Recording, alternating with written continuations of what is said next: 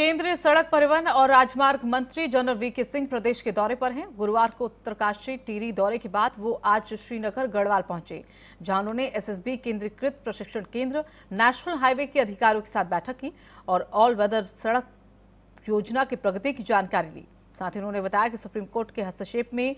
बाद कई काम रोके गए, लेकिन सरकार ने कमेटी बनाई जो लगातार कोशिश कर रही है चारधाम सड़क परियोजना और अन्य कार्यों को गति मिल देकर कुंभ मेले तक सभी काम पूरे कर लिए जाएँ।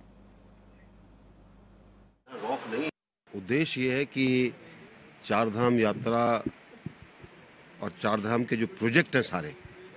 उनके लिए गति दी जाए जायजा ले रहे हैं कि कैसे इसको गति दी जाए ताकि कुंभ से पहले हमारे सारे प्रोजेक्ट पूरे हों